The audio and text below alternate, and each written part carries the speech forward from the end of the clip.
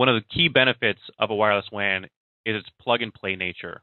So it is not only simple to deploy, it only requires power and mounts on power poles, light poles at substations, but is also standards based. So deploying a wireless WAN provides Ethernet connectivity for universal connections to devices like network cameras or grid devices, RTUs and IEDs for SCADA. They can provide serial connectivity through an adapter to connect legacy applications and has a whole protocol soup of support for legacy and future applications. So not only IP with IPv4 and v6, but also support for applications like DNP3, ANSI C12, IEC 61850, Modbus, and others. There are three specific roles for the wireless WAN. The first is providing a network for substation automation. And these are for applications like SCADA within the substation, video feeds for monitoring, a secure Wi Fi hotspot for workforce mobility, all without monthly fees since it is a private communications network. And this is all what we consider inside the fence. There's the outside the fence communication, which is number three here, which is networking for distribution automation. And this is extending the network out to distribution devices like transformers, capacitor banks, reclosers, voltage regulators, provide SCADA out to the distribution network, enable microgrids, and being able to centrally monitor and configure the feeder. Another application that ties into this is the ability to backhaul the AMI network. And again, since it's a completely private network, utility has total management and control of the deployment and scaling the bandwidth and coverage is easy without any cellular fees tied to the AMI network. So we'll start off by talking about the substation communications. What this slide represents is a, an example of a deployment where there are a variety of different substations, some already connected with fiber and SCADA communications, some connected with lease lines that have SCADA represented in green, and then in purple, substations that just simply don't have any kind of communications to the substation. So the ones in yellow here already have fiber, green have lease lines, purple, no communication.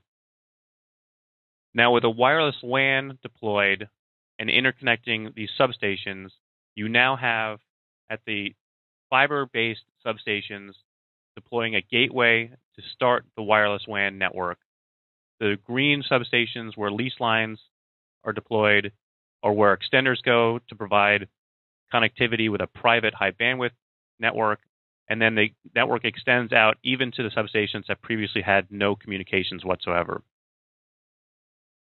By connecting all substations with two way communications through a wireless WAN, you now have broadband connectivity with redundant self healing links that enable applications such as SCADA.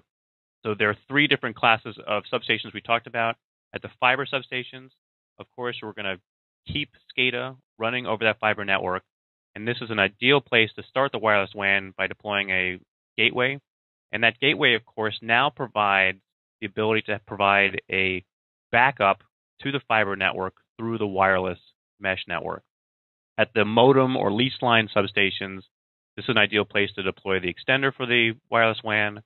And by doing so, you've upgraded the communications from lease lines to broadband connectivity with redundancy and have eliminated the monthly lease line operating expenses. So for lease lines that can run from $200 to $600 a month, the return on investment is very quick. And then, of course, at the substations that have no connectivity, deploying an extender allows you to extend SCADA applications to those substations as well as providing broadband and redundancy, again, without the operating expenses. So, with an extender deployed at a substation, this now enables inside the fence communications to a variety of different devices. Through standard Ethernet connectivity, the substation now has the ability to support multiple protocols, a variety of different IP protocols, DNP3, 61850, Modbus, and so forth.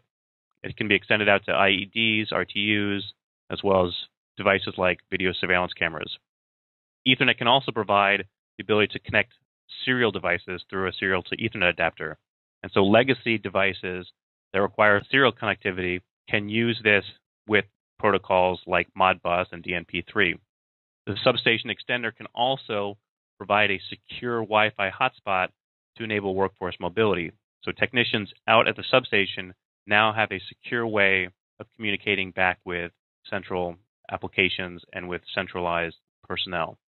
Finally, there's ability to provide point to multipoint connectivity. So for larger substations, through point to multipoint, it extends that Ethernet serial and Wi Fi connectivity to other areas throughout a substation.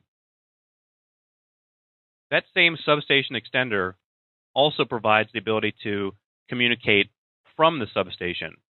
The substation extender can provide links out to other substations, which is one of the main benefits of a mesh.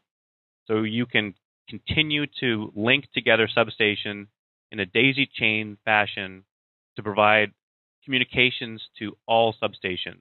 And this is enabled not only through the mesh, but with these long range links that can go up to 10 miles. You can now extend this out into rural areas and touch substations that may never have had communications before. That same substation extender also provides the bridge into the AMI network. And so, with an integrated AMI collector, it now forms the basis for an RF mesh to interconnect the NAN, the neighborhood area network, with all of the electric and gas meters on that communications tier, which of course also starts to provide the gateway into the home area network, which is the, the third tier of a multi tier architecture. The substation extender also provides the ability to communicate from the substation to distribution assets and what we call distribution networking. And this enables applications like SCADA for distribution devices, microgrids, and feeder reconfiguration.